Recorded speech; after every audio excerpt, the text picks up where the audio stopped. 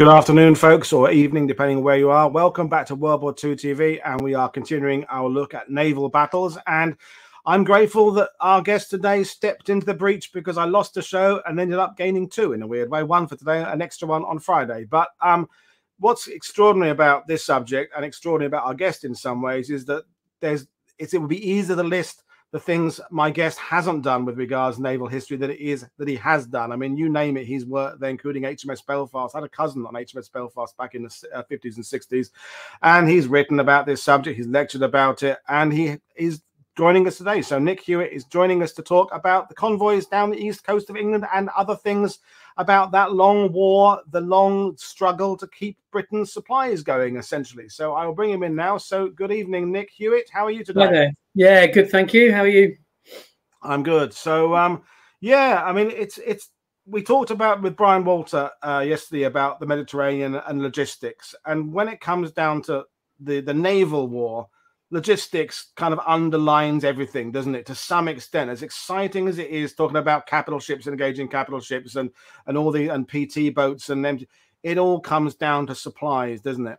It, really does, but I think that's also particularly true for Britain because Britain's an island nation. So this goes. This is more than logistics. This isn't just something that that Britain does in wartime. This is how Britain functions, and Britain can't just stop doing it because there's a war on. And I think that's that's one of the, the real lessons of the coastal convoys in particular for me. No, definitely. And and you know, we talk about the Battle of the Atlantic being I think the most important battle of World War II, getting overshadowed by perhaps the Normandy campaign or Market Garden or the, the fighting in Tobruk. Well, what we're talking about tonight is overshadowed in the shadow of that, isn't it? It's in another shadow there, and yet integral to it. So I will mention again, folks, the, the we're talking about Nick's book, um, which is uh, Coastal Convoys. I'll flash the, uh, the overlay up there. The link to the book is in the description below. You can find find it online or your usual bookseller or whoever you buy your books. So, and it's the one of several books that Nick has penned and been involved in. So, that's the that's the plug out of the way. But I'm going to basically hand over to you to talk about this this this fascinating aspect and sit back and learn stuff. So, folks, if you've got questions for Nick, we can do some as we go along. If it's a little ones about detail, we'll do it as we go along. If you've got any kind of big overarching questions about the principle of convoys, perhaps we'll do them at the end. So um, I'll, I'll bring up the PowerPoint and um, hand over to Nick to control it, and we will, we will sit back and learn. So, folks, again, if you've got questions, fire away, please. Great, thanks very much, Paul. It's really lovely to be here, and uh, really enjoying just picking up this subject again as well, which is, um, you know, it was the first book I wrote. So it's something I, I, did it quite a long time ago now. I'm not going to confess how long, but um, if you look at the book, you find out easily enough.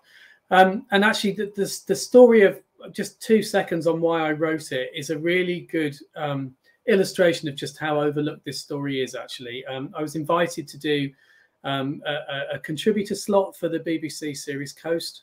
Um, and I was asked to go down to Dover and talk about that they found some film. Um, it's a very famous bit of film of a Channel convoy being bombed as it went past the Straits of Dover.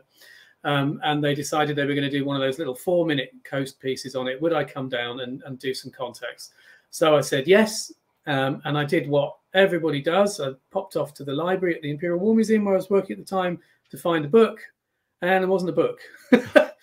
um, and I think that says it all, really. Um, I later discovered when I was doing my research there are one or two books. There's a fabulous one that's self published and isn't really out there in the world. There's a couple of very, very old sources that are almost primary sources more than book now. They were written in the 50s by participants, and that's that's about it. Um, and I'll get on to when we start to talk about the, the, the colliers and the convoys themselves, um, a little bit about why I think that is. Um, the coastal convoys were the were the missing um, the missing link in the chain really for for wartime logistic convoys for me, and um, I was lucky enough to work with Richard Woodman, who's written some fabulous books on on the North Atlantic convoys, the Real Cruel Sea. He's written one about the Arctic convoys, Malta convoys, and Richard told me that he had wanted to do this story because he saw it as the kind of what happens next from the Atlantic, but his publishers wouldn't let, let him write a book that vast. So um, he was he was very, very supportive and kindly wrote my forward for me. Um, and in a sense, that's what happens, but in a sense, it isn't. The, the point about coastal convoys is they represent the militarization of, of what Britain is doing anyway and has to do all the time. It is the indestructible highway. Um, the, the campaign, and it is a campaign, lasts for the entire war. So the first coastal convoys are run in, you know, right at the start, September 1939, and they go right through to the end of the war. And the last two ships sunk in convoy anywhere are actually sunk on a coastal convoy around the north of Scotland on the 7th of May 1945, so the day before the war ends. So um, it really is. It's it's an epic campaign. Um, I'll just see if I can move. There we go. Oh no, over enthusiastic. So why are they doing it? Well, fundamentally, um, it's mostly about coal. Hence the coal miners here. Um, coastal convoys happen because of Britain's geography. Um, and it's a very, very simple. So my dad was a geographer. Um, he tried in vain to make me one. Um, but I did a little bit of digging on on this, no pun intended um, when I did the introduction to the book. And it's, it's pretty simple stuff. The coal is in the north of England, and the south of England has a voracious appetite for it. Um, there is there's a myth that's grown up. Really, it was even there during the war, and we'll get onto this later on. Uh, but certainly since that this is about bringing coal down for people to heat their houses. Um, and yes, that's part of it. But it's not just that. It's the power stations, it's sewage, it's transportation, it's anything that needs power at all is run on coal at this point in history. Um, and how do they carry that coal? They carry it in ships. So again, one of the myths. Um, I'll try not to rant about Len Deighton too much, but some of the stuff that Len Deighton put in his Battle of Britain book was one of the things that really pushed me over the edge in terms of writing this one. Um, you you can't move this stuff and put it on the railways. You can't go and put it on the roads. It would take hundreds and hundreds of trucks to carry what one coastal convoy could carry. It would take hundreds and hundreds of trains. And these trains and these trucks are being used for other purposes, mm. and the railway networks and the road networks aren't up to the job. We move this stuff by sea, and the, mostly it's coal, but it's other generally high volume, low value cargoes that you can chuck in a ship in the north of England and bring it round to the south. And I mean, it works yeah. in the same principle as shipping stuff by container now, isn't it? It's the stuff that takes up a lot of space that you, you have got to get somewhere you know yeah up to a point. Maybe not the, the, parallel is probably not the containers but it's the bulk carriers. Okay yeah. Um and actually you know when i lived in portsmouth until comparatively recently i used to go for a walk around the harbor there and, and there was little ships filling up with cement so we're not moving coal around now, but the, the, the same companies are moving coal until really the country moves away from coal-fired power stations. So they're going well into the 80s and 90s. They're still shifting it, and then it sort of fades away. But now it's cement and you know all that kind of stuff that that's still high volume, low value. Chuck it in a ship and move it. Um, it's Britain is basically designed to make this system work. It's, it's geographic. It's a geographical accident. So you've got this this huge coastline. You've got cold. It's quite a narrow country. Everything's quite near the sea. Um, I think you're only ever about 70 miles. The furthest you can be from the sea is about 72 miles or something. They used to teach us that on coast. It was like Coast 101.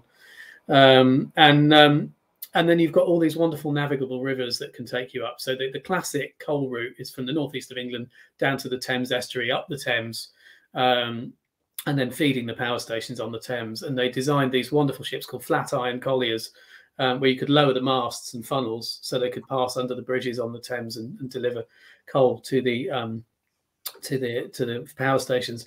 Um, my dad taught me this. Um, my dad found me some books when I was doing this, um, and he found me a lovely book by a bloke called Professor T. S. Willan, and he said you need to. His in his book he referred to the, the coastal waters as being like a river around England, and that's how we use it. We used it as a river. And the point was, you couldn't stop doing that just because there's a war on, because everything grinds to a halt. Mm. So this was not a new problem. Um, and actually, just as a, an aside that I forgot to give, if you look at that picture and also the one that's on the cover of the book, um, that actually depicts a coastal convoy.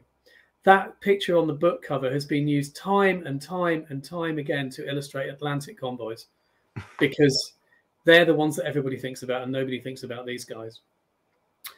So it's relatively easy, so everybody thinks, to protect this shipping. We've done it before. We did it in the First World War. In the First World War, the threat was U boats. And when we're talking about U boats and shipping in the First World War, we are not talking about convoys in the middle of the Atlantic or off the US coast. The U boats don't have the range and they don't need to go that far anyway. We're talking about coastal shipping and maybe a bit in the western approaches. That's what they're going for. Um, by the end of the war, painfully, slowly, 1917, they learned that if you stick the ships in convoy, the U-boats have to come to the convoy and then you can attack them.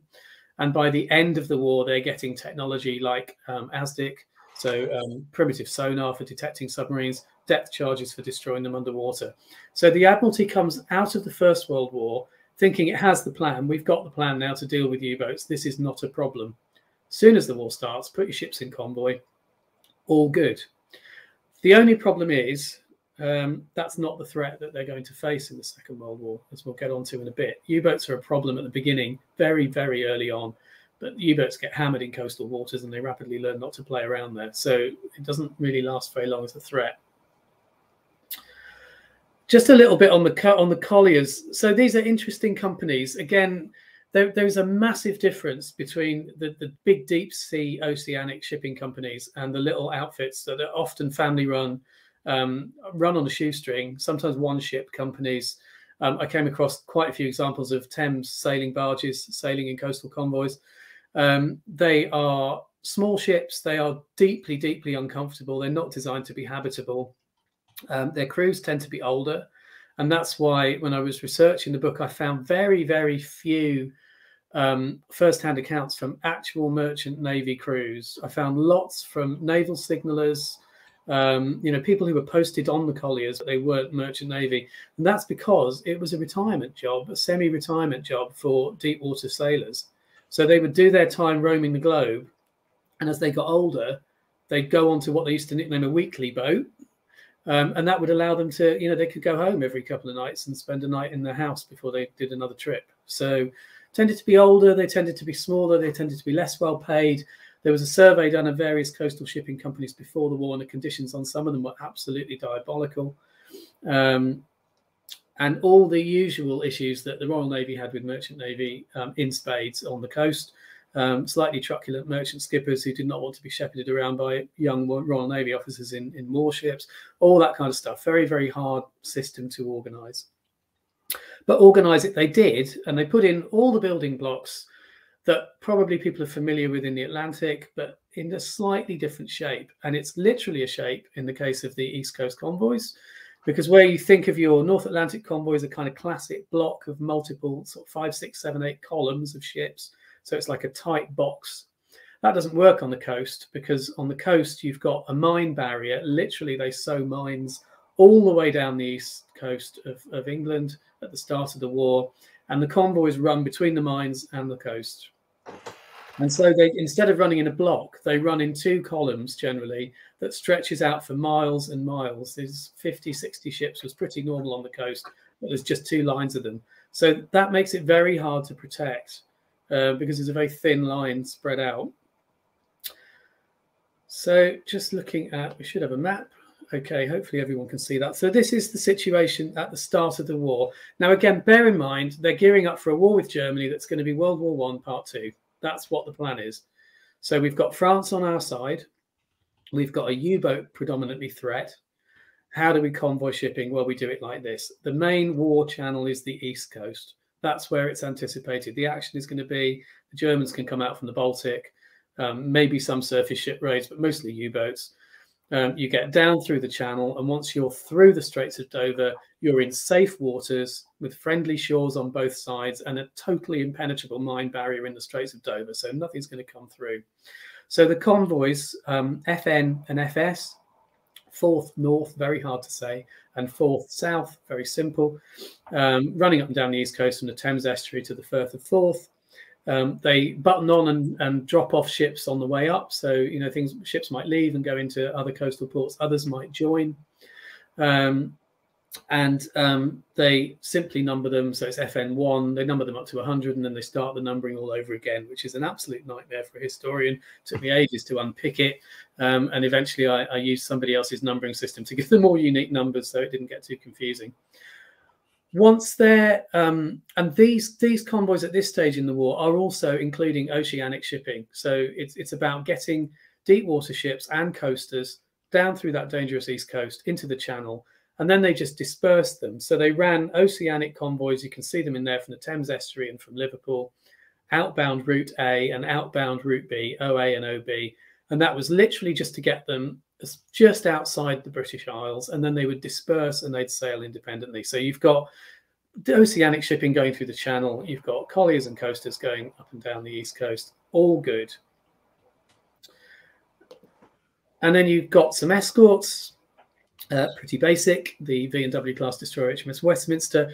To be honest, if you were on a coastal convoy and you got a V and W class destroyer, which were the, the kind of workhorse destroyers um, in reserve from the First World War that were, were dragged out and used in the Second World War, you'd think you were pretty well off if you got one of these. That's quite a punchy escort. Um, so that's a you know an old fleet destroyer, um, probably with some additional anti-aircraft armament. At best, you would have one of those if you were lucky on a on a coastal convoy. Probably not much else. Um, and then just, I, am going to jump in with a couple of questions. One yeah, from me, and then we've got a few coming in online that you may or may not be covering up later on. But one is I can't see them actually. No, I'll, I'll put them up on the screen in a minute. But when, oh, when yeah. we're talking about that late 1930s period, we know that you know think, think people are thinking about the home defense and radar. They're thinking about what we'll need in terms of tanks, what we'll need in terms of this, that, and the other. Had there been any kind of calculations done about the fact that if war comes, factories in the south will be working at greater capacity? There'd be more need for coal, more need for the need for this, that, and the other, and they would have to in, increase this system, or was it all just kind of reacting to the situation around it? Was it planning or reacting? That is my question. So, well, it's a bit of both, really. It's quite interesting. The fact the factories aren't the, the factories still aren't in the south mainly, um, mm. but you have got power stations running at full tilt in the south. So at, at the very least, they know they're going to have to keep the same rate up all right. the way through the war, and they're going to have, you know, that that's going to have to be done in war conditions. Um, when it comes to preparations, they know they're going to convoy. When it comes to escorts, they they have a plan. The, the plan isn't that obviously Britain's very late to rearm, and we all know that story about it's kind of the late 30s before they start taking this stuff, this stuff seriously they do work on the basis that the large, complicated warships take longer to build. So that's what we should focus on. And that small escort craft can be knocked out quicker. So, in a sense, you can do those at, at the last minute. Um, the problem is the last minute passes, and it's not that they haven't built any, but they get repurposed. So that the flower, the famous Flower class corvettes, we all know the Flower class corvettes. You know, the, the, the uh, Cruel Sea, all that kind of stuff. Compass Rose fantastic little ships. They're designed as a coastal escort. That's what they're supposed to be there for. They're supposed to do this job. The problem is the situation in the Atlantic gets so desperate that the Flower class corvettes are taken away and put in the Atlantic, and you very rarely see them on the coast again. Um, so the, nothing's in the right place. They, they, don't get the war that they've planned for. Is essentially the problem. Okay, and, and they'll do a couple of questions from viewers, and we'll get back to the kind of yeah, yeah, of course. Yeah. So David Kay is saying, for the convoy ships, to the extent that the ships were not owned by the government, were the ship owners compensated for their use or loss if sunk? So that's interesting. That that evolves over time. So at the start of the war, certainly not. Um, they are um, they're insured, but then they can't get insurance. Um, pretty early on, they're taken over by the Ministry of War Transport, and so they become they effectively become state assets. That, that there's a little bit of a myth, really, an understandable one that was built up in wartime that that the merchant navy is the fourth service and you know it has this this weight that is equivalent to the the other services and all the rest of it. That that simply doesn't reflect the reality of, of the merchant navy. Um, the merchant navy evolves incrementally over time during the war. Eventually it does have that level of respect and protection. At the beginning it doesn't. At the start of the war these are private ships operated by private businesses run by civilians you know civilian crews um, and very famously, until until I can't remember the precise date, but it's it's at least two years into the war. I think it might be 1942. Actually, merchant sailors' pay stops when their ships sunk.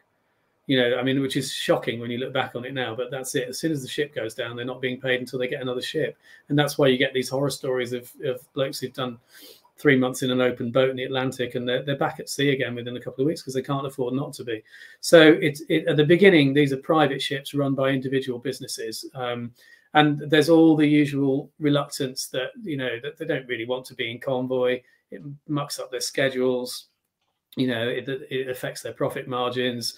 They don't merchant sailors don't like steaming in the same space as other merchant sailors because they're worried they'll clash into it. The difference in the First World War is they, they grip that very early and they they, they basically put them under under wartime regulations. They tell them what they're going to have to do. So to that extent, it's a bit different. Okay. Well, I think that the, the next question was about pay. So you've kind of covered pay, and again, it's an evolving situation. You would have to kind of look at it at which point of the war we're talking about, I suppose. And uh, but we'll, we'll we'll hand back, and then we'll we'll. I love the questions, folks. Keep them coming. But yeah, um, we'll hand back to, to carry on, and it's it's good good stuff. So uh, back to you uh, yeah, very touching on pay. It is a difficult pay varies in, enormously from company to company at the start of the war. So these things do get standardized over time, and they do get that. But at the beginning, you know, if you're on a, a Thames barge run by a family company, you're not going to earn. We, we, probably it's probably your shit. You know, you're mm. on it. That's it. Some of the companies were a little bit bigger and, and they were running multiple ships and they had more standardized rates of pay. But broadly, no one on the collier is going to get what you would have got on a deep water freighter. Okay, that's for sure. Um, and then similarly, sliding effortlessly onto this this slide, um, it's also true of the escorts. So um, so these are these are the mainstay on the coast. Um, the Royal Naval Patrol Service. So this is um, it's been nicknamed Churchill's Pirates, been nicknamed Dad's Navy, all sorts of things. Um, these are trawler men in trawlers, basically. and again, this is a system that has evolved in the First World War and works very well. And they've honed it down so this is one of those building blocks that they just get out as soon as the war starts. This is what you do. The Navy sweeps up a lot of trawlers. There are a small number that are Admiralty built trawlers, so they're built as small warships, but they hoover up huge numbers of trawlers and drifters from civilian trade, um, including, um, you know, we've just come out of the Depression, don't forget. So there's quite a lot mm. of these things laid up anyway. Um, they also hoover up the crews, the fishermen, who are mostly naval reservists. Um, a large number of them get swept into the Royal Naval Patrol Service. They go to um, Lowestoft, where there is a camp um, in a former holiday camp called Sparrow's Nest. They do a few weeks of basic training, and then they pretty much go back to a trawler. Um, and they're either doing anti-submarine work or they're doing minesweeping. Most of them are doing minesweeping, and actually, the techniques for for what was called oropesa sweeping, which is basically where you, where you've got a moored mine tethered to the seabed and you cut a wire very, very similar to trawling. So, you know, this is very familiar stuff to them. They've just got a uniform on, and actually, most of them don't even bother with that. And you get a few younger specialists added to the crew. So you'll get some signal. The Admiralty will provide some signalers, some gunners, maybe.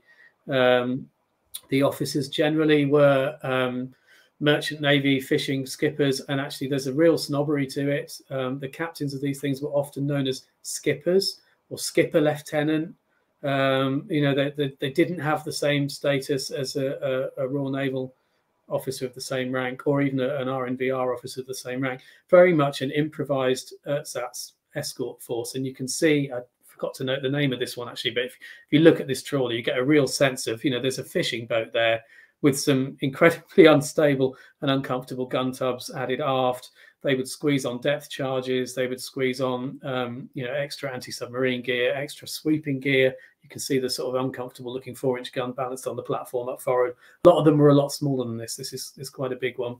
Um, so you might get, again, in an average coastal convoy, let's say you've got one of those smart-looking V&W class destroyers, you might have a couple of sweepers um, up forward, so leading the way because the worry is that you're going to get airdrop mines in front of you as you're going up the war channel.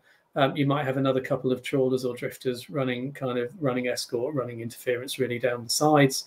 Um, so that's th this escort slowly building up. Trawlers and old warships is what it starts with. And somehow you've got to you've got to have some sort of discipline to this. So they, they run exactly the same system as they do on every other convoy route. There is a, a, whole process that they know how to do here. It's really interesting, and it's another one of those understudied um, areas. Actually, there is a one good book on it that I know of is is this um, uh, structure of the convoy commodores. So the, the convoy commodores are always, without fail, retired, elderly retired, either naval officers or merchant navy officers, um, who are brought out of retirement and they are given the, the honorary rank of Commodore, Commodore RN, RNR, um, all of them, whether they were a, a, Rear Admiral in the Royal Navy in 1918, they're all Commodores. Um, on the coast, they tended to be retired, more junior officers. So you find a lot of dugout commanders, mm-hmm. lieutenant commanders um, on the East Coast, but again, elderly, elderly naval officers. Um, and their job, God help them, is to, to try and shepherd the merchant skippers and um, instill some sort of discipline and structure on the way they steam. So they're constantly trying to get them to keep up or slow down and generally make less smoke, which is the, the, the cry that goes out from convoy commodores throughout. They would put them on a ship for the convoy, usually one of the better ones with enough space. They'd have a small staff, mostly signalers, um, and that would be their job. And they would join a convoy at one end, they'd get off it at the other, they'd pick up a ship and go back the other way. Um, and again, you know, hugely important role, very undersung, very difficult job, actually. And then you also get this stuff. So you get this wonderful system now called um, DEMS, the Defensively Equipped Merchant Ship Organization. Um, so this is about putting defensive armament on merchant ships so they can protect themselves. And again, if you there is some awareness of aircraft, but a lot of this is still directed against U-boats. Um, it's very, very interesting and amusing and a little bit anachronistic, actually, the, the, the whole concept of defensively equipped merchant ships what defines a defensive gun? Well, anti-aircraft counts as defensive. That's fine. You're all right with those, except they haven't got the anti-aircraft guns. We'll get onto that in a minute. Um, surface-mounted, um, surface-firing weapons. Well, it's defensive if it's on the back. So you can have a three-inch gun on the stern because you're firing that when you're running away, but you can't have a three-inch gun on the bows. So it's all a bit of a nonsense, really, and, and it reflects an earlier age, it, you know, but useful. Um, useful for two reasons partly because it allows you to shoot back, though the, the deck guns less so. The AA guns very useful, but also it made them feel better. There was, yeah. It really did genuinely oh. an effect on morale to have a gun on the ship. You just felt less helpless.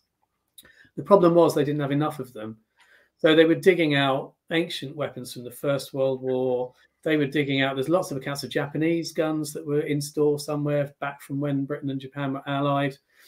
Um, just see the question come up there. Dems gunner with six Maritime Regiment Royal Artillery. Yeah, so so the the gunners. Um, I'm not surprised he was sunk three times because these guys just used to have to move from ship to ship. Um, and there was a particular group who later, slightly later in the war, um, were operating in the Channel called the Channel Guard, and they just used to carry Lewis guns from ship to ship, and they never stopped. They'd get off one and on the other.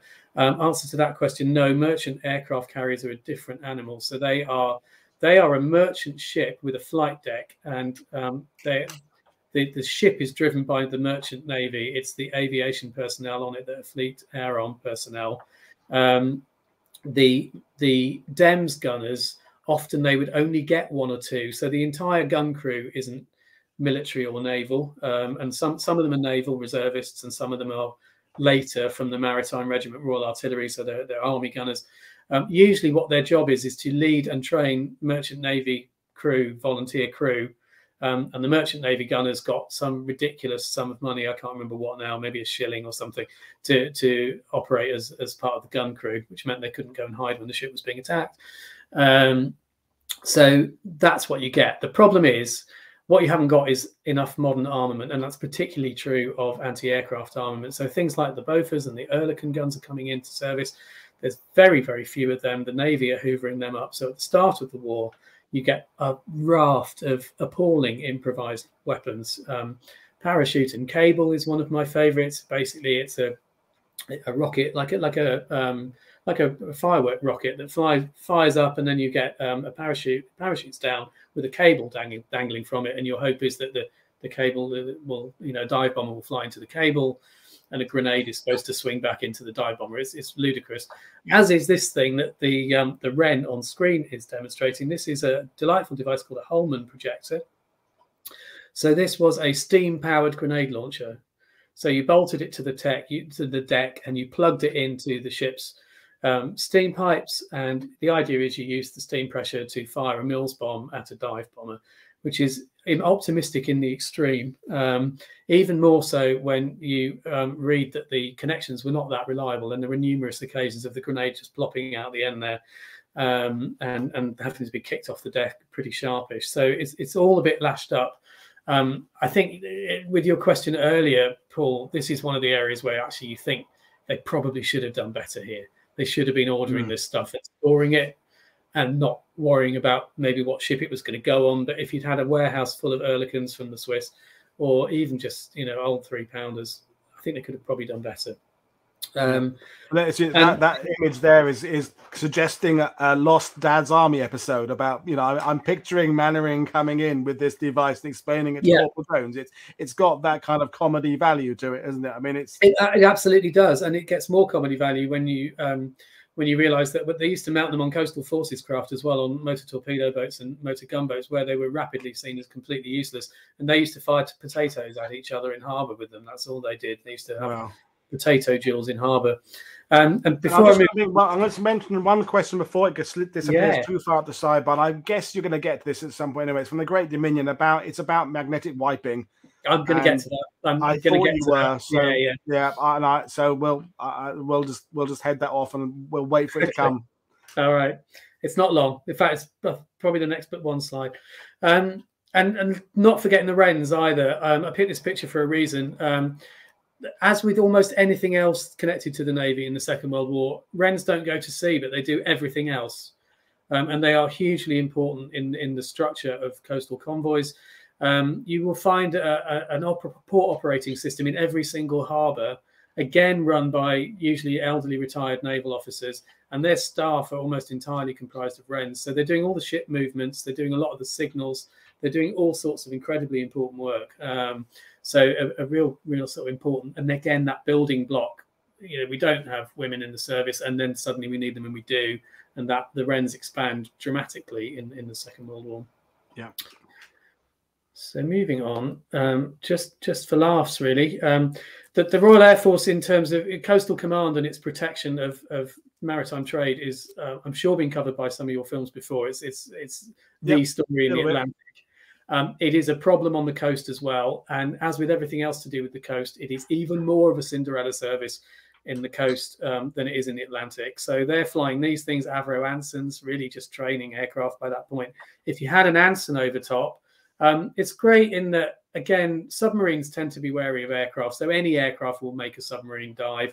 They can't carry a bomb big enough to do any harm to it. They're too slow and too vulnerable to fight anything else. But the Anson isn't the worst thing that they've got. And I'm just going to read a, a quote from the book, actually, which I found, and it, it just made me laugh so much. This was um, uh, the Air Ministry produced a little book about Coastal Command in 1943. It was one of those propaganda books. It's fabulous. Um, and um, there is a, a, a, little account of a Coastal Command patrol in 1939. Um, and um, the aircraft concerned are Tiger Moth training aircraft. So they've they've pressed Tiger Moths into service um, with no meaningful ability to carry any kind of bomb load whatsoever. Um, the anonymous pilot left this little, very very brief bit here. Left patrol area on account of deteriorating weather conditions.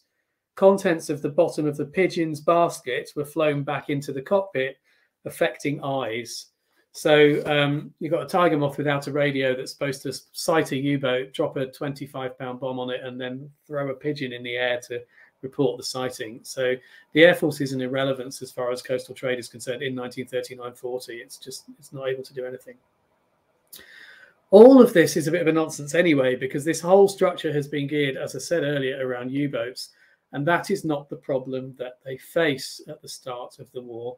The first problem that they face, and this is where we get onto magnetic mines, is the German magnetic mine offensive. Um, the magnetic mine is not Hitler's secret weapon. Both sides have played around with magnetic mines at the end of the First World War. Um, the Germans have developed one that actually works. Um, and it's absolutely devastating at the start of the war. There's no other word for it because there's no um, there's no allied mechanism for sweeping it, and that's that's the main problem. They get one fairly quickly, and we'll get onto that in a minute. But at the start of the war, um, they don't really know what they're facing. Ships are blowing up all around the coast. Um, it's an influence mine. So the mine warfare, as I said earlier, was mostly around contact mines. So your classic child's drawing of a mine with horns on that sits just below the surface of the water. It's connected to a weight that holds it to the bottom. The ship has to physically bump into it, and the explosion blows a hole in the hull. Magnetic mines are influence mines, and apologies to those who, who know this, but some people always, I always found don't. So it sits on the seabed. You lay them in shallow water, usually delivered by aircraft, but also by submarines and, and surface ships. Um, and it responds to the change in the Earth's magnetic field caused by a big lump of steel, i.e., a ship passing overhead. So it doesn't make any physical contact with the hull of the ship. What it does is it goes off with an almighty bang, and it's the shock wave and the pressure wave that does that damage. Um, so, as you said earlier, I, I worked on board HMS Belfast. She was one of the earliest victims of a German magnetic mine in 1939. She ran straight over it. Now, she is a warship, an armored warship designed to take punishment um, and it pretty much broke her back. It um, they just about got her into harbour. Um, it was touch and go whether they were going to keep her or not because she was so badly damaged. Everything was wrecked. The engines were shifted off their off their seats. The turrets were dislodged. Everything from that to the you know the wardroom China, um, and she was out of service until 1943. So no, 42. So that that's and that's a warship. So you can imagine the impact on a, on a flimsy merchant ship that isn't designed to take this kind of punishment. So the mining offensive starts pretty much immediately. It runs the, all the way through the winter. Terukuni Maru, Japan, obviously neutral at this point in the war. She's a big Japanese cargo liner. She's mined in the Thames estuary. There are very, very few photographs of mining victims. I don't know whether this is that they're, they're censored. Um, sailors coming in and out of the Thames estuary refer to a sea of masts in the Thames estuary. Um, I'd love to see a photo of that because I've never seen one. Um, between September 39 and May 1940, 114 ships are lost to magnetic mines around the coast. Um, and it's a rate a rate of attrition that they just can't they can't swallow. Um, they just can't keep this loss rate up. Fortunately, it's not as devastating as devastating as it should have been because the Germans have misplayed their hand really really badly with this weapon. Um, they don't have that many. Their stockpiles are not that big at the start of the war. They start using them when they haven't got enough to be truly devastating. If they were able to seed every single major river estuary with large numbers of these, they could have shut down trade, not just coastal trade, actually. Um, but they didn't. So they can only hit one place at a time. Um, and when you start using a weapon, it's always the biggest problem with any piece of technology. You want to use it because you want that advantage, but then you run the risk of of somebody finding it um, and somebody uh, figuring out how it works. And that is precisely what happens. Um, the Germans drop two magnetic mines on the mudflats um, in the Thames estuary where they are in um, exposed at low water. They are recovered by a remarkable chap called Lieutenant Commander John Ouvry, who um, there is a, an IWM oral history of his account. It's quite incredible. Um, uh, there's two of them in the team. One goes out and takes the thing apart, and he has to um, uh, describe over a telephone everything he's doing. So if he gets blown up, the other guy knows exactly how far he can go before he has to start worrying. Um, and um, once they've figured it out, then it becomes relatively easy to work out what the countermeasures are. Um, the, the countermeasures for most of the ships is exactly what uh, the questioner said earlier. So that's degaussing. Um, so the um, the magnetic mines are geared up for um, basically the North Pole. Magnetism changes depending on which side of the globe you are. If you reverse the magnetism of a ship, then you render it harmless to um, the early types of magnetic mines, at least. Um, and that's precisely what they do. They either do it in two ways. They can either do a sort of temporary fix on what they call the degaussing range. So the ship would steam very slowly through a kind of um, like a like a girder effect structure, and that would wipe the ship and and demagnetize it for a while. Um, or you could have degaussing cables, which is a kind of more permanent system, and that they literally are wrapping electromagnetic cables around the ship and degaussing the hull. Um, so the countermeasures don't entirely shut down the magnetic mine offensive, but it stops being the the truly devastating issue that it um, it is at the start. They also come up with some other ideas. Oh, that's one of them gone too fast. Um, so th- this is a Vickers Wellington bomber modified with a sort of electromagnetic coil that can fly fly very slowly over water and, and trigger magnetic mines off. So um, problem with that one is it's a waste of a bomber and bombers are in short supply and all that kind of thing. But it does mm. work and they do have a number of them.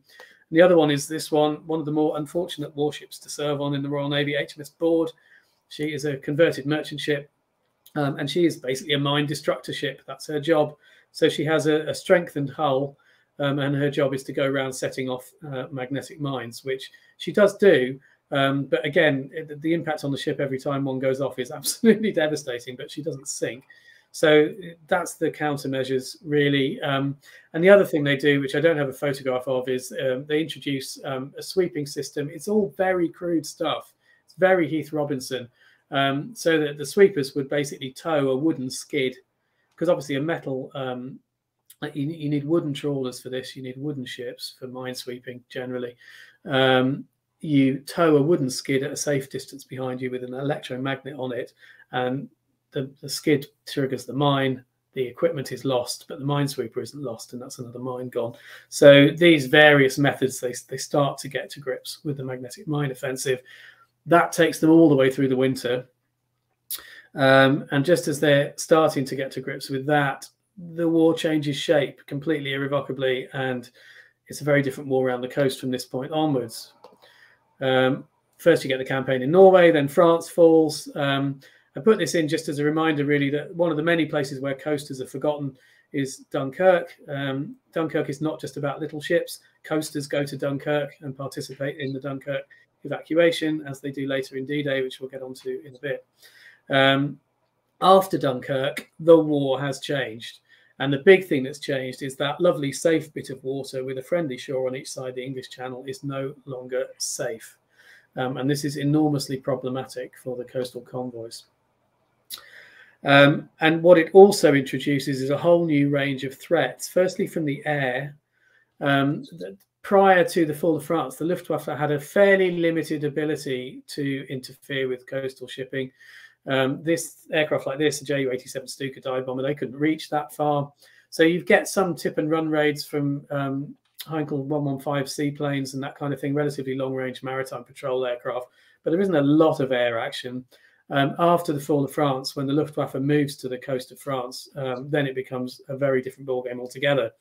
Um, and in fact, the first phase of, um, of the Battle of Britain, known as the Kanalkampf, the Battle for the Channel, is all about the coastal convoys. And this was the point where I, I just started to lose the plot with Len Deighton because it, it he literally writes in his book that, that, that the RAF was running, that the convoys were being run to, to, to bait out the Luftwaffe so that the RAF could go and shoot them down over water.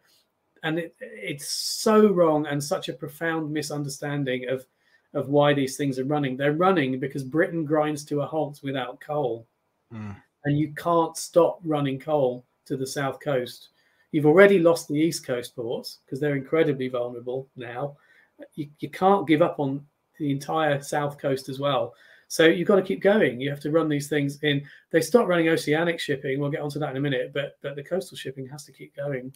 I, am just thinking about at one point I've had it on my list about doing a show specifically about the influence of Len Deighton's Battle of Britain book because it, it, it, I have it. I've still got a copy of it, and it it's it was when it came out because it was a combination of text and pictures and graphs. And yeah. Everybody had it, and I've still yeah. still got a copy of it. And it's one of those texts. I think Max Hastings' Overlord will be up there as another book that was very very influential when it came yeah. out and steered the understanding of history a particular direction and perhaps a wrong direction for a long long time the influences of it are still being felt i think it's i uh, think you're absolutely right and i think it's that, all those kind of texts of that type i think it's it's interesting and they're of their type. I'm, I'm reading one at the moment. Normandy 44, Invasion 44 is another one. It's you know it's it's of its time, 1959.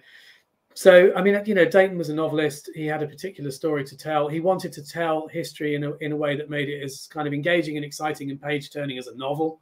Um, and I think that's that's a big part of what he was doing. Um, he, I mean, he wrote Bomber Command as well, didn't he? I, I've, not my area, so I don't really know the accuracy or otherwise of it. But I think, but but the other thing in, in his defense, I guess, is that the, the whole importance of coastal trade is so badly understood, which is why I wrote my book. It, it's just not understood.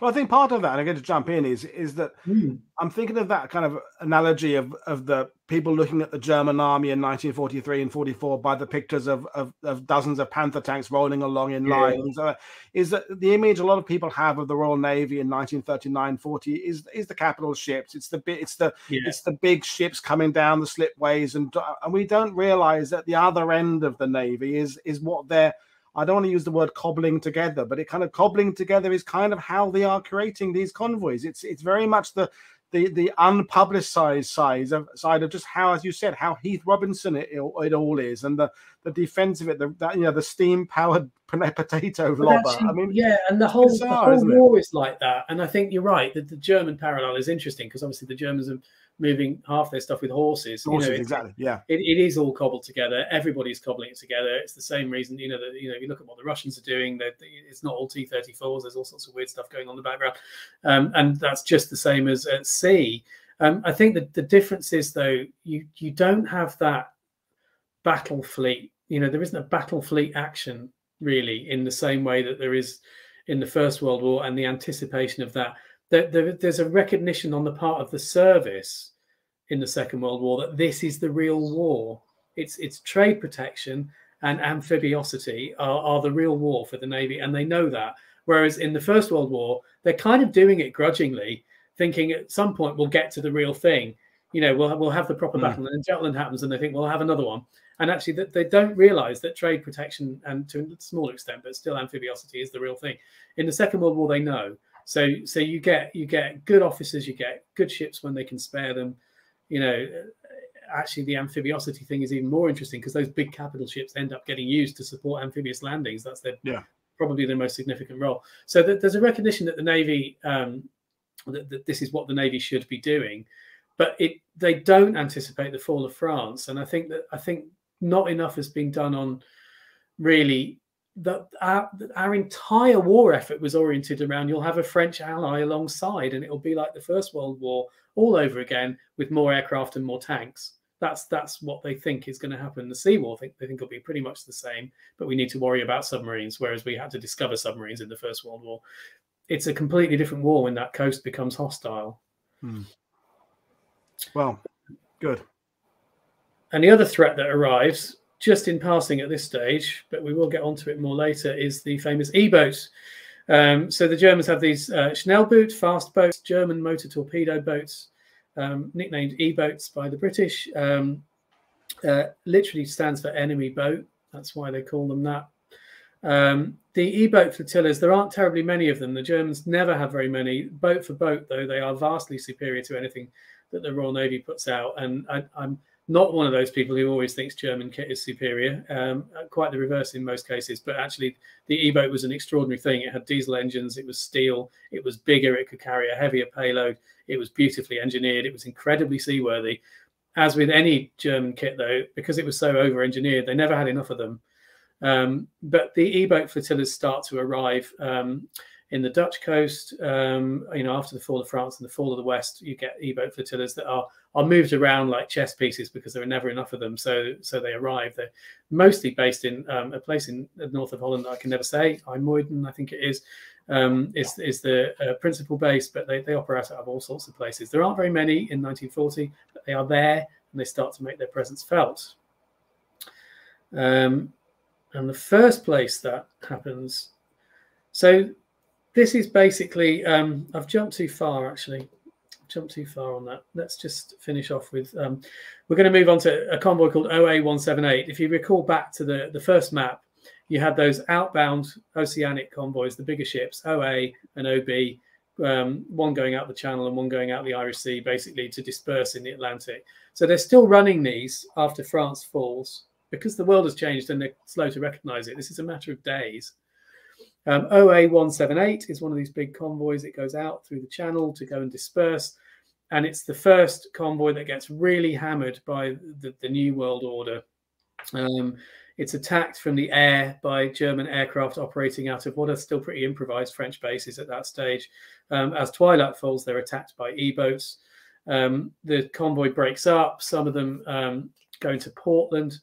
Um, a lot of people will know the story of, of Jack Mantle, the Victoria Cross um, uh, Award, uh, posthumous, serving on the anti-aircraft cruiser Foylebank in Portland Harbour. She gets involved because the, the, convoy comes in and Foylebank's sitting in there and provides protection. Um, they bomb the hell out of this convoy. Um, interestingly, just a little note on statistics. The, the Luftwaffe is not terribly good at hitting ships at this stage. That's a skill that the Luftwaffe has to learn. And there's a lot made of how good they are. They're pretty good off Dunkirk when things aren't moving, or they're steaming in very confined waters like a Norwegian fjord, they can do it. Actually, hitting something in open water that's going full speed, and in the case of a warship maneuvering, they're not very good at it. The Stuka pilots have been trained as flying artillery for the army, not not hitting ships underway. So OA 178 has 53 ships, um, five are sunk, 11 are damaged badly enough that they have to go back. Um, you might think that's not that bad, but actually, in 1940, at that point in the war, Britain only has 3,000 cargo ships and 1,000 coasters registered UK. Mm. So actually, they can't sustain that loss rate. OA and OB convoys are going out two or three a week. You can't sustain five ships sunk and 11 damaged every single convoy. And there's very little stopping the Stukas from hitting them. So um, that's enough to close the channel to oceanic shipping. That's the end of the OBs and the OAs. Um, they can't take those loss rates. Uh, we're a long, long way away from you know the, the, days of Americans churning out Liberty ships in, in phenomenal, phenomenally quick times. It takes months and months to build a replacement ship. So that's it. Um, the oceanic shipping no longer goes from the east coast. It no longer goes from the port of London, and it no longer goes from the south coast. And that's when Liverpool and Glasgow and the west coast ports become the the real hubs for for transatlantic trade convoys. The big ships are no longer using the channel, but the poor old coasters still have to because they're not going out across the Atlantic. They've got to deliver their cargoes to the south coast ports. Mm. So they are still going. Um, and what you get then is a new range of convoys, um, which you can see on here. So this is the system as it kicks in after the fall of France. So you've got um, CW and CE, so channel westbound and channel eastbound. Um, and then you've got, uh, I think it's WP and PW, which is that. The, the, I'm trying to read my own slide and I can't read it. The Irish Sea routes, anyway.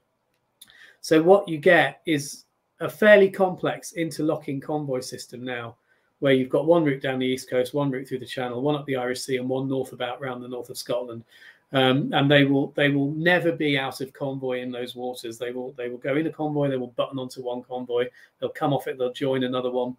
Um, this is when you get the the Channel Guard that I was talking about earlier. Um, a lot of Canadians in the Channel Guard, Canadian reservists who they haven't got ships for. Um, so they, they form these small teams of Lewis gunners, and they will get on a, a ship in the, in the Thames estuary. They will ride it to wherever it's going, usually South Wales, and then they'll jump off and they'll get straight on another ship going back the other way. Or if there isn't one, they'll get on a train and they'll go overnight by train back to London, and they'll come back again and do it all over again. So that's fairly fairly horrific. Um, so the, the, they're anticipating now that they will have to fight these things through. Um, and for a while there in the summer of 1940, all the channel convoys become a battle, basically, certainly in that Kanalkampf period.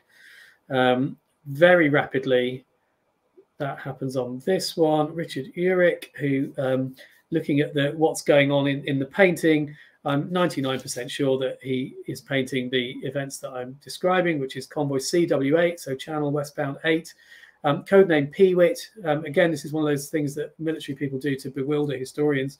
Um, there were loads of Peewits. I think every single one was called Peewit. Um, uh, so this one was CW8 on the 25th of July. So not that long after OA 178. Um, they basically shut down the channel for a few days, recreate this new system, and then start running the channel convoys. And CW8 gets absolutely hammered on Black Thursday. This is the the channel convoys um, PQ17 moment, really. Mm-hmm. Um, there are 21 ships in the convoy. Um, only eight of them get through. Most of the rest of them are sunk. Some of them are damaged. And just for good measure, the two older destroyers that are forming the escort are also so badly damaged they have to be towed into Dover and they're nearly lost. So um, it's the same pattern as OA 178. It's Stukas and air attack in the day, and as dusk falls, the E boats come in, um, and and they're absolutely shattered by it. Uh, this is a photo of Summity. Summity is interesting because she's the CW8 ship. She goes aground on Shakespeare Cliffs um, near Dover to avoid sinking. Um, but also give you a sense of this is what a typical channel coaster looks like. They're tiny little ships. They're very small. She's under 500 tons. Um, she, believe it or not, actually survives this experience. She is refloated, repaired, and she's still there. She's in Normandy, um, interestingly. So um, and also she is operated by FT Everard, so my favorite um, channel um, coasting company or just general coasting company. Um, they're still, or they were still going until the early 2000s. FT Everards. Every single one of their ships ended in Itty. Um, and the last one I found was that they were launching a ship called the Speciality in the early 2000s. So, yeah, lovely continuity there, which proves that point again. There's a lot of things that Britain stops doing at sea, but you can't stop doing this stuff. You still have to move mm. things around the coast. So you get a whole new raft of building blocks now to protect the coastal convoys against what is a whole new series of threats. You get balloon ships. These are quite interesting. Um, these are operated by the Royal Navy. They are converted merchant ships mostly. Um, and they um, have uh, Royal Air Force personnel on board operating barrage balloons, which actually are a great deterrent against dive bombers. So this is purely targeted at the Stukas. Um, and then later, over time, they reach a point where every single ship is flying a barrage balloon. Um, and you you know you can see these these photographs of the convoys with it. Uh, you see it at D-Day as well. They're still doing it at D-Day. Every ship's flying a balloon. Um, but initially, as as um, somebody said there, one of the naval officers said this potentially tricky arrangement with dual command and all the rest of it. But it works very well. That's great. You've got balloon ships, slightly less effective.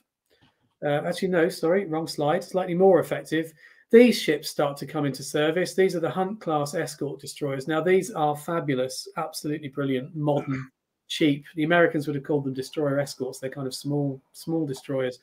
Um, now, they are available because they are actually, bizarrely, a bit of a design flaw. They're, they're conceived as an Atlantic escort, but they haven't got the legs. They can't, they, haven't got the speed, uh, sorry, the, the um, endurance to cross the Atlantic. So they get used in all sorts of other ways. They turn up in the Mediterranean a lot, and they're used as coastal escorts because they're, they're short journeys. But they're well armed. They're um, relatively quick. They are modern, versatile, absolutely fantastic coastal escorts. So you've got this interesting situation where the Flower class corvette, which is designed for the coast, goes out to the Atlantic because actually it's such a basic ship it can chug across. And it doesn't need to be fast. It only needs to be as fast as the merchant ships that it's carrying or a U-boat. Whereas these, which are designed as escort destroyers for other other places, they end up on the coast and they're incredibly useful. But again, you'd be lucky if you got one. The, the, the escort lead might well be the senior officer escort, probably in a hunt. Um, uh, off the top of my head, George, I'm very sorry, I don't know. Um, I can check that for you, um, but right now I don't know. Okay. And I've just got a question for you that, that yeah. sounds sounds a simple one, and it's do the Germans know what they're doing? And what I mean by that is the the, the you know the changing of the can't use the eastern ports, things like that. Is there any? Have they uh, done any analysis about how they can hit us? And you know, if they hit the Atlantic convoys, it might reduce our um, through by this X and Y, or is it all kind no, of opportunist? That's a very simple question. No, they haven't. Um, not on the coast.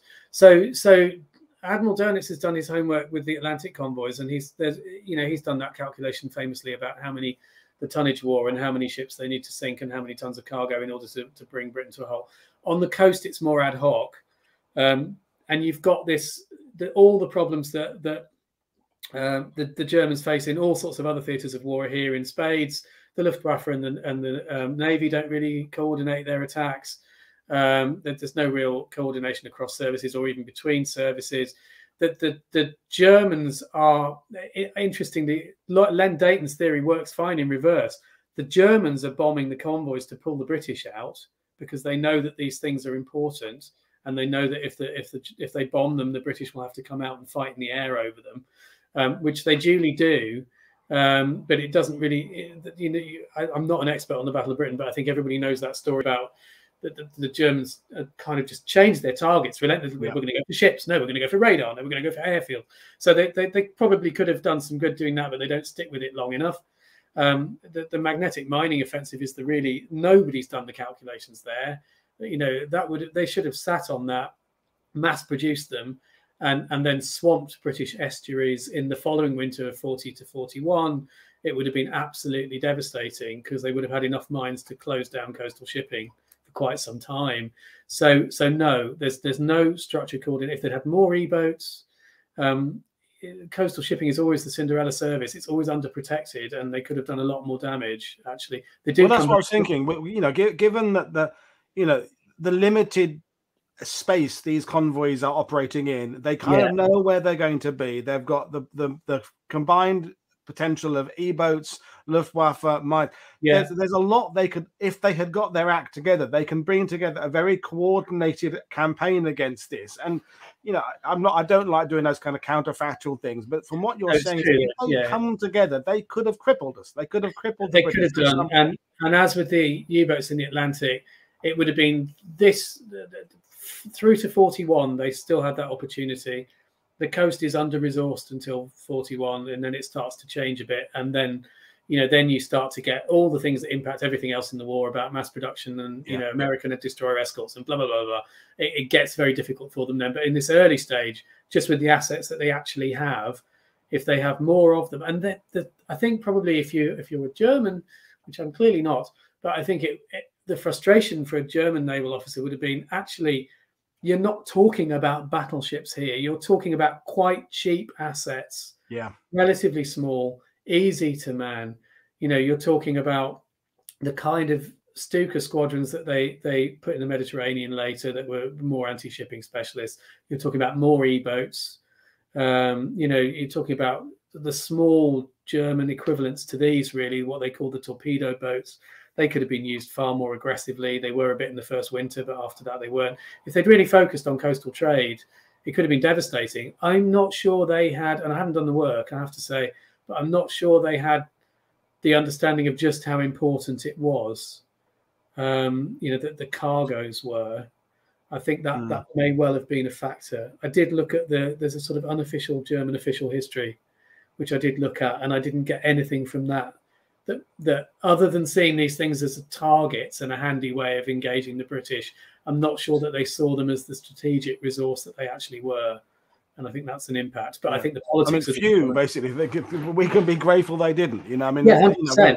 we know by 41 the Germans are fighting on lots of fronts, lots of theaters, lots of things yeah. going on there. And but thi- this, as you said, there, it's not pie in the sky stuff. It's not like when people say if the Germans had got the Messerschmitt 262 a year earlier, well, that was It's never going to happen. that, no. It's, that's a that's a silly thing. You know, it's like saying if they'd had Lewis guns at Warp yeah, Speed if or they got their aircraft carrier to sea or built a battle fleet. It's it's not Yeah. like that. This is But just a about few more Stukas and a few more Yeah. e-boats is, is is really within their grasp. Yeah. and and actually even more so the Ju-88 squadrons, which are devastating against shipping in the Mediterranean and in the Arctic.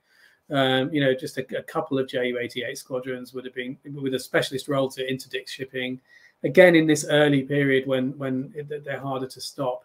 Um, so so coordinating the assets that they did have and just increasing the numbers a bit, I think would have been you know could have been really devastating actually. And, and and yeah, I'll let you get carry on talking, but that's the thing that although you know we kind of laughingly talked about the the the not ineptitude, but the the hob the cobbled together way the British began the war. Our learning curve is on the rise and keeps rising. Yeah, that's the thing. Is we it's, we being the collective allies, we identify what the problems are, and slowly but surely we we we amend them and improve them, and everything that was not working starts working better. It does seem to me that the Axis does tend to keep repeating the same mistakes much more than we do. and that there is a, a profound misunderstanding of the sea and sea power and how to use the sea and how the other side might use the sea in certainly the German armed forces. Um, step aside Admiral Dönitz. Dönitz gets it, but he's Yeah. focused on the Atlantic. This isn't his fight.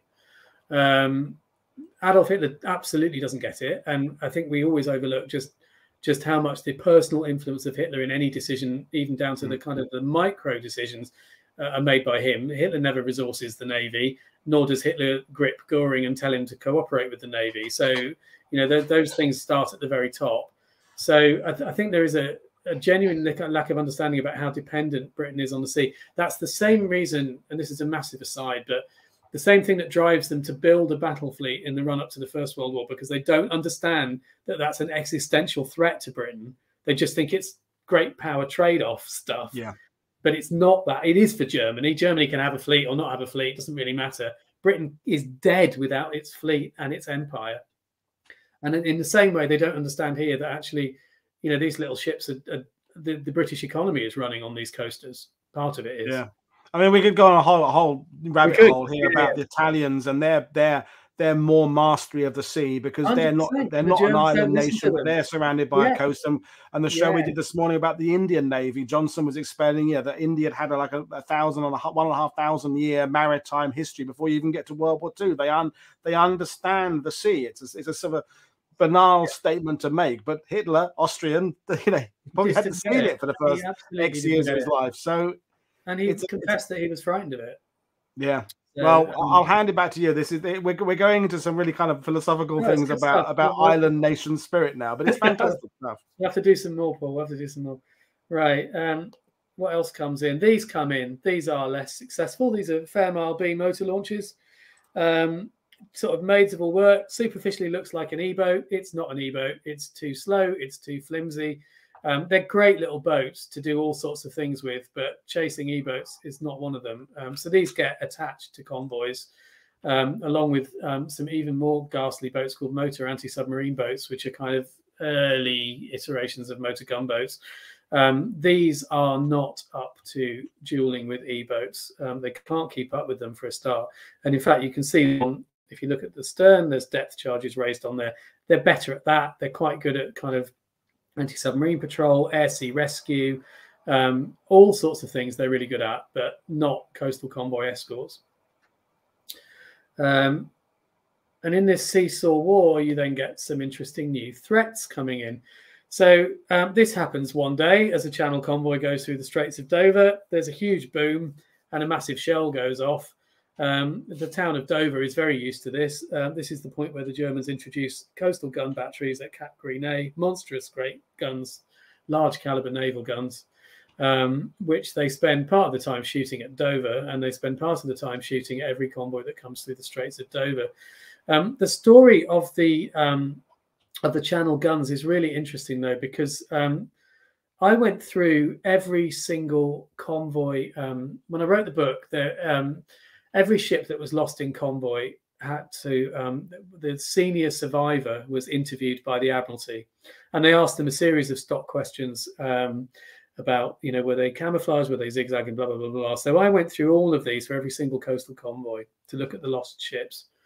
Um, and i did not find a single ship that was even hit by a channel gun until 1944 when a convoy went through on the run up to d-day and one of them was hit um, and nothing was sunk by them. Um, they're very hard to hit. The trajectories are difficult. Um, what they're ranging on, ironically, is the barrage balloons. The Germans learned that they can range on the barrage balloons, which stick handily up above the cliffs.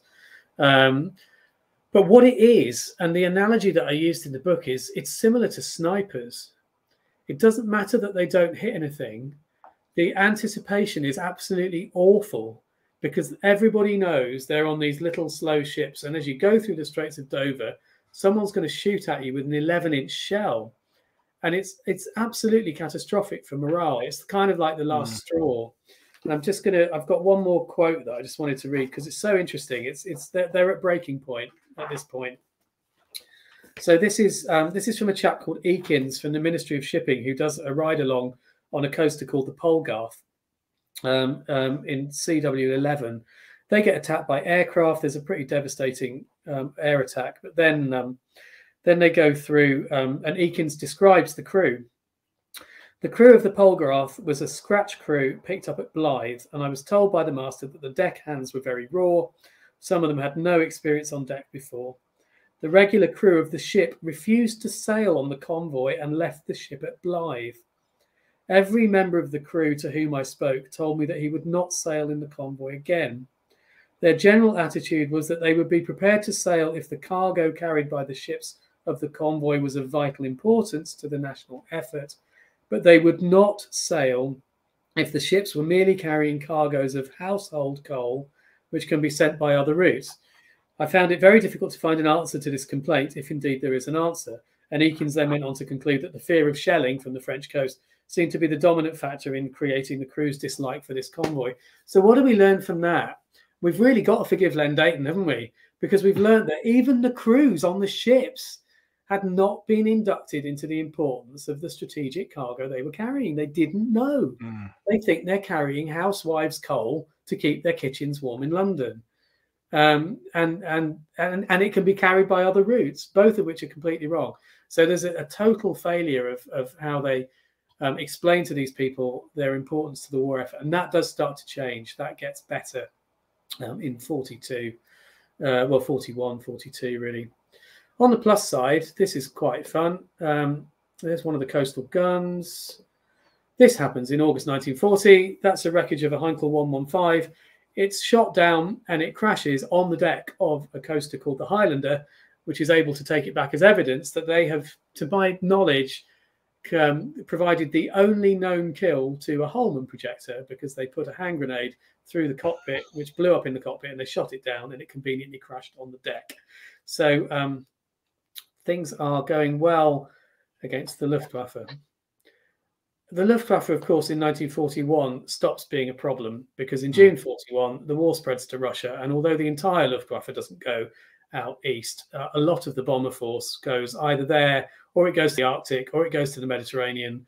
Um, and fighters are of limited, you know, fighters aren't really anti-convoy weapons. So air attack becomes you still get tip and run raids, you get individual aircraft, they're still a pain in the neck but you don't get those massed attacks by dive bombers. It, that becomes less of a problem. What becomes the problem for the duration of the next two years is the E-boats, um, which really start to mainly operate out of Holland. They do occasionally slip through the channel and operate out of French ports for a while. And they are focusing on that stretch of coast around the East Anglian Bulge, which becomes nicknamed E-boat Alley. Mm. Um, they are they have a pretty finely honed method of operation. The E-boats. They're very aware that they are there aren't enough of them. That they're commanding a valuable asset. They're under strict orders not to engage um, British warships. Um, so there's lots of kind of disparaging stuff around E-boat skippers running away and all this kind of stuff. They're they're, they're not running away. They're doing their job. Um, their job is to is to take down trade. Um, they would come over in the dark. Um, so they tended to be more dangerous in winter than in summer when you have the long nights. A favorite technique was to, um, uh, as, as Allied warships or British warships were starting to get radar, they would tie up to the buoys, which marked the war channel. So um, they, they, couldn't be distinguished on radar and they'd just wait there in silence until the convoy went past. Um, and then they'd rev up their engines, they'd go into the convoy, they'd fire their torpedoes, and they'd get the hell out of Dodge before anyone could catch them. Um, because they don't have the numbers, as with the Atlantic, there's an awful lot of convoys that pass relatively unscathed, but then you'd have kind of one single devastating attack where there's very little that they can do. Um, even the destroyers, they just they, they, can't traverse the weapons fast enough to hit an E-boat moving at pace. Um, they're very very small targets. They're very very fast. Um, they paint them white, which makes them very hard to, to see at night. Searchlights reflect off them. They're, they're very very very potent warships. Um, they try a lot of modifications. Um, one of the things they do is they find that um, on the uh, escort destroyers like the Hunts, the E-boats would come in so close they couldn't depress the main armament to fire on them. So they hmm. stuck mm. a two-pounder quick fire right up in the forecastle in the forepeak as far as you can go to depress down and fire over their own bows. Um, they start to introduce um, better tactics is the real key to defeating E-boats. So later in the war, you get um, aircraft, um, once you've got um, air to surface radar that actually can function against the sort of stuff you're putting into detect a U-boat, periscope will detect an E-boat. So that becomes a, a, real threat later on to them. But um, the first real um, adversary they face is coastal forces. And although boat for boat, the Royal Navy's coastal forces can't really cope with an E-boat, the Royal Navy are building coastal forces craft in vastly greater numbers than the Germans are. They still can't catch them when they come over they don't really know what Ultra, as far as I know, has never never really revealed anything significant around E-boat operations. I think because it's so small scale. Um, so they come over in the dark on their own. They tie up to buoys. That's when it gets really interesting, though, because what they learn is that the Achilles heel of the E-boats is still their radio traffic. And what they do is, as soon as they're in action and they've fired those engines up, then you get a phenomenal amount of short-range radio traffic and the skippers will literally talk to each other by name. It's kind of Hans, I'm over here, Fritz, I'm over here, we're going here. Um, and they, um, the, the Allies, the British start to use that. So they will put um, what were nicknamed headache operators uh, from the Y service. These are wireless intercept personnel on the on the escorts. Um, they will be listening into the German radio traffic. Um, there's at least one occasion that I came across where the, the, headache operator picked up a German skipper who was lining up his E-boat on their destroyer, as, and the, the, operator was listening to them do it in real time. Um, and what that then allows them to do is they put in place what they call Z patrols, which are patrols of coastal forces motor gunboats, and they are sitting on the other side, basically between the Germans and their home base. And the, the tactic that they come up with is we can't get them on the way in, and they will do some damage, but they were very aware of how few of these assets the Germans had. So let's try and engage them on the way back when we know where they are and we know where they're going and we can catch them. Uh, and there are some successes around that, but it's still it's in the 19th of November 1941 before they sink an E-boat, um, and they, they, shoot it up in a in a channeling in a North Sea engagement. Um, they almost are able to capture it. The crew abandon. Um, it's left wallowing. There are some photos of it coming back under the water ensign, riddled, absolutely riddled with holes, and then it sinks on the way back. Um, so they, they're starting to get the measure of the E-boats, but it's still it's still very much the, the E-boat in the E-boat's favour at this stage. This is when the Thames estuary forts appear. These wonderful things, the Army and Navy forts in, in the Thames estuary um, partially anti-aircraft, but also partially anti-e-boat. That's partly what these things are there to do. Um, so again, just creating obstacles, just making it more and more difficult for, for the e-boats to operate safely. Um, and the other thing you get, finally, um, as you get into 42, 43, they start to, to sink them. Um, and again, S71 knocked out in February 1943. Every loss of an E-boat is a catastrophe for the Germans. They just don't have enough of the things, and they're not building them very fast, and the, the manufacturers are not getting the resources. So they do start to um, they start to wear them away, but they very they never actually go away. The E-boats remain a threat, certainly in the North Sea, right through to the end of the war. Um, it gets more sporadic. They start to struggle for fuel supplies and all the other things that Germans start to struggle for. But there are still E-boats in Holland, actually in, in ports that have been bypassed by the Allies that, that come across and surrender at the end of the war uh, because they're still operating out of there. Um, they get a new lease of life um, in the Scheldt when when the Allies have opened up Antwerp, so that mm. you, kind of close close operations. So um, when I conceived this, I, I, kind of took this talk through it's about halfway through the story really. So I'm I'm going to wind down a little bit um, and just canter through very quickly the the second half of the war, which is equally interesting but quite different. And you can come back and expand on it in the future if you want. We, we, can do a, we can do a taster now, and then you can just book yourself a slot in the future and come back and expand on it. There, job we'll, done, sorted. We'll do it in the questions as well if anybody's got any. Um, D Day is the next big change, really, around how the convoy system works and how the network works. Um, because what you've then got is is you, you, factor in convoys across to the invasion beaches, and, and it becomes part of that big D-Day logistics package. Um, in the build up to D-Day, you start to get invasion traffic running down the east coast. So you get bits of Mulberry Harbour, and you know bigger ships start to creep back in as the air threat recedes. Um, you get some interesting stuff in the last year of the war. Um, you get U-boats for a start, which have basically disappeared since 1939-40. Um, you get the, the inshore U-boat campaign, um, which is is not devastating, but it's a pain in the neck. They, they they they hide behind wrecks. They're very difficult to find they're not just going after coastal shipping; they're going after anything they can shoot at and get away quickly. Um, but the um, if you've done stuff on the on the Battle of the Atlantic, and everybody knows about the the Type 21s and the Type 23s, the electro boats that are coming in at the end of the war that just don't come in fast enough. The Type 23s, the little tiny coastal boats, they're designed to swarm around British coast and be uh, a real pain to coastal shipping.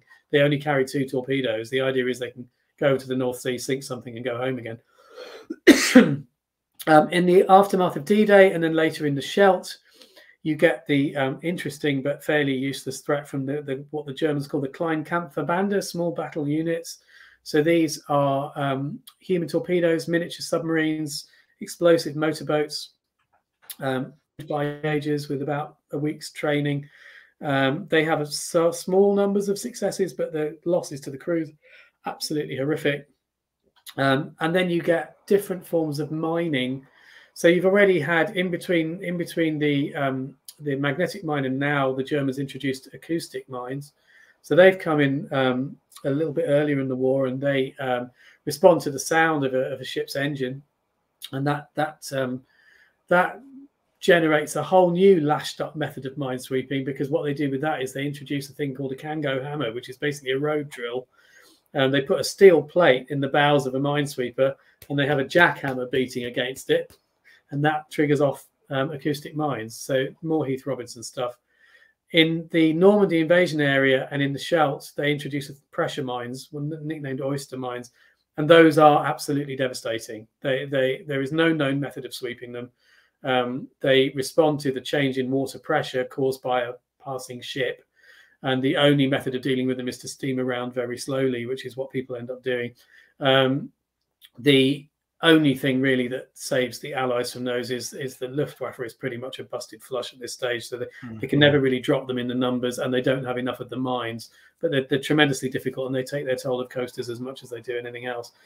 But it is coming to the end now. Um, as I said, the threat continues. 7th of May 1945, the last two ships were sunk.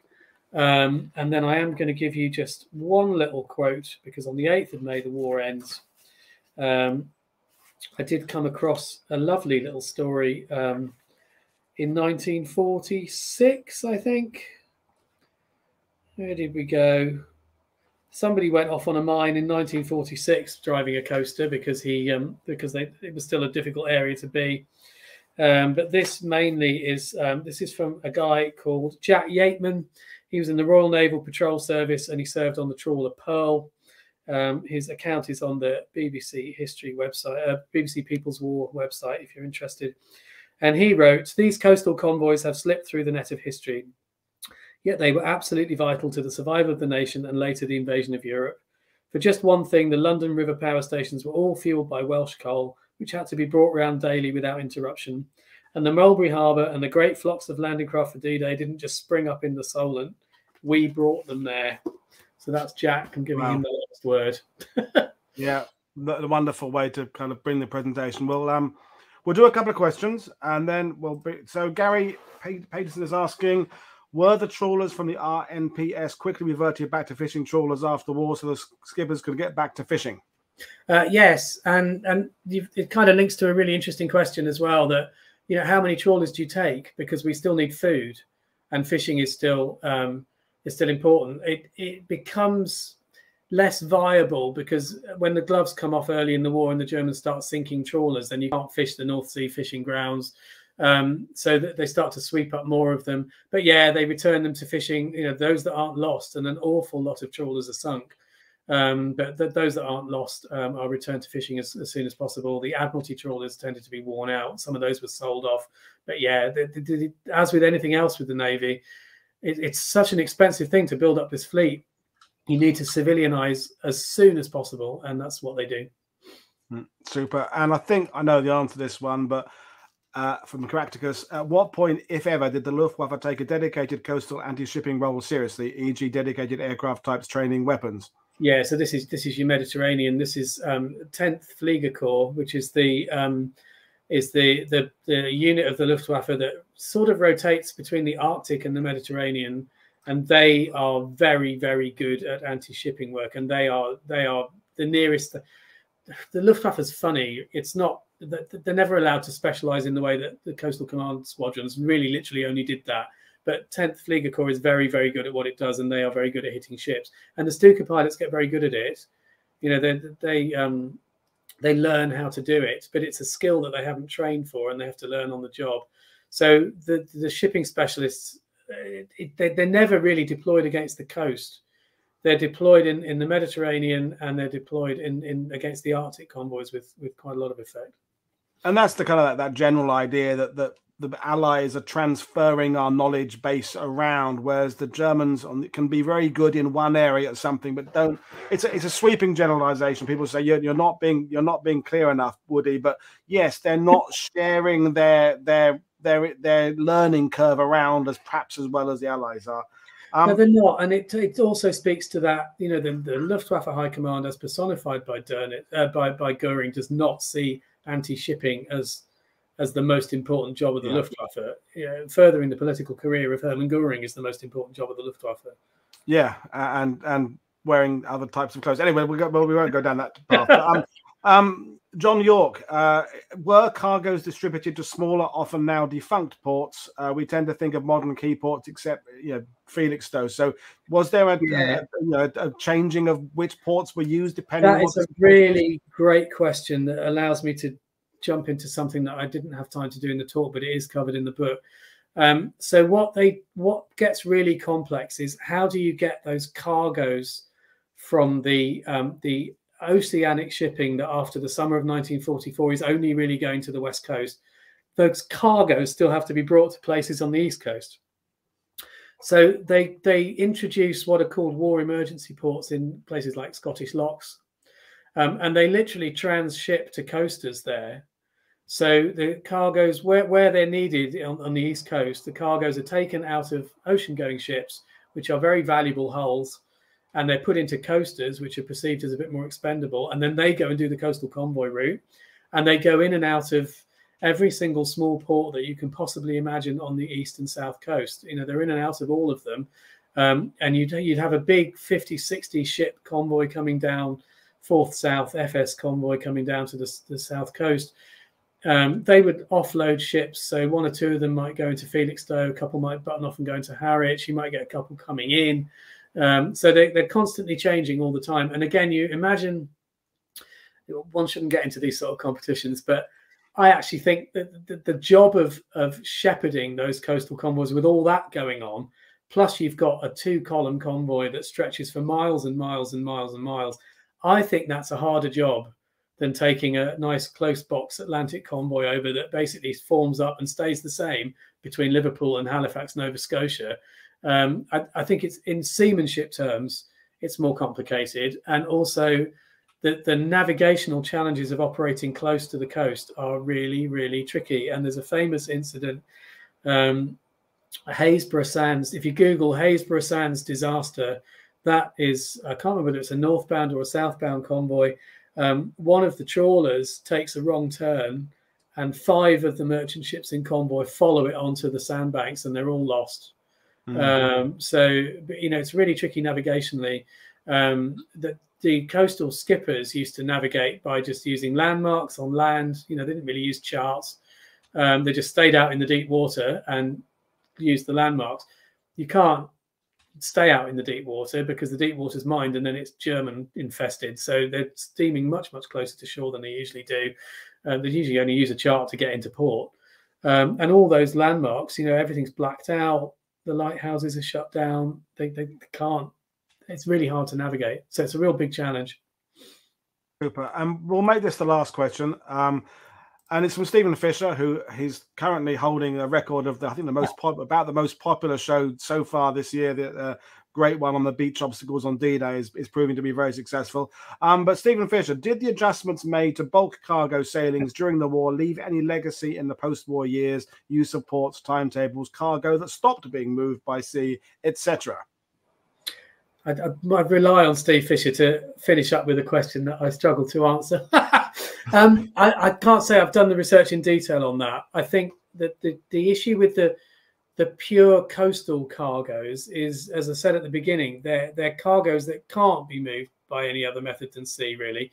So you don't really, and, and you've got so much, it, it's, it's an artificial economy because you've got all this military traffic moving around on roads and railways, so you can't you can't have that option. Um, the bulk cargoes go back to being moved by sea, I don't know the answer to, you know, they, they, they, continue to move them by sea until we stop using them. So they're still moving coal around mm. by colliers and then from, you know, from the port, then by railway, if you need to get it inland. Um, I don't know the answer to whether any ports became more significant as a result of the war and then stayed more significant. Harwich um, gains quite a lot of significance as a, as a coastal escort naval base that, you know, then kind of drops away again after the war, so that there's naval presence in these places that that is immediately wound down after the war. It's a purely a wartime expedient, but I don't know about post-war commerce, unfortunately. Mm. So hmm. you, you, caught me out again, Steve. Sorry about that. Well, never mind. I mean, and, and I'm just thinking that you know we talked about at the beginning that this being a a, a, story that should be better known. And I'm just thinking, having grown up on the East Coast, just how much there is there to do with the defense of Britain. Generally speaking, I'm thinking of Landguard Fort, all those places I grew up with. You know, it's a it's an area uh, of that seems to have dropped away uh, in our understanding, and it's it's it's a shame. Um, there's there's a big story here, and that what these these convoys achieved is is is just as important as as um the, the siege of Tobruk or whatever other comparison you want to it make is, it. It to. is really, and it and I think if if nothing else, it proves that that that we have a tendency, and I think as historians we can be a bit prone to this as well, to to take things and um, you know we we just treat them in isolation, and we fail to understand that if nothing else, the Second World War in particular is a big picture, and everything is interrelated so you mm. can't just, and I tried not to do it with coastal convoys, but I'm, I'm sure I probably fell into the trap as, as much as anyone else. You, you can't just look at this story because actually it has links into D-Day and it has links into the Atlantic convoys and it has links into the Battle of Britain and the home front. All these things are tied together. It's one big joined up complex thing, which is one of the things that makes it magical and exciting and almost limitless to study but it's also quite hard to get right because you, you don't want to mission creep out into telling a story the, the Battle of the Atlantic when you're writing about coastal convoys, but you have to show that these things are interdependent. Well, that's one of the reasons you kind of you kind of plugged what I do here on the channel in a sense. In that mm-hmm.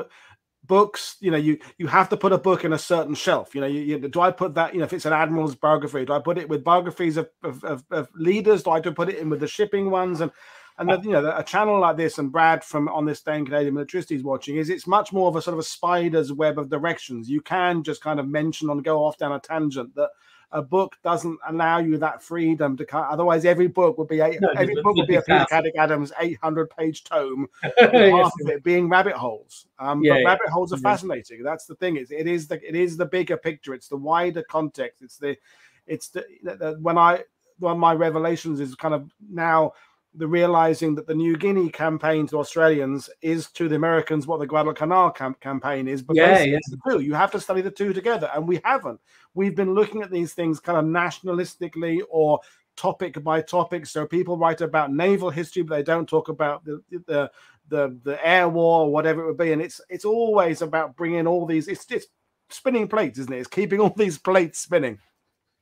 It is indeed. Yeah. It's been great well, fun really enjoyed it and really enjoyed all the questions as well. It's been really brilliant. Good. Well, I'll just remind people what got coming up, and I'll come back and say goodbye in a second. So, folks, tomorrow's show is a bit earlier. So, Julia Jones is coming on to talk about the yachtsmen volunteers who ended up serving their country on various ships and vessels. So, that's quite exciting. If you know Julia Jones's name, big history with maritime magazines and yachting and things like that. So, she's coming on to talk about that. So, it's 6 p.m. GMT.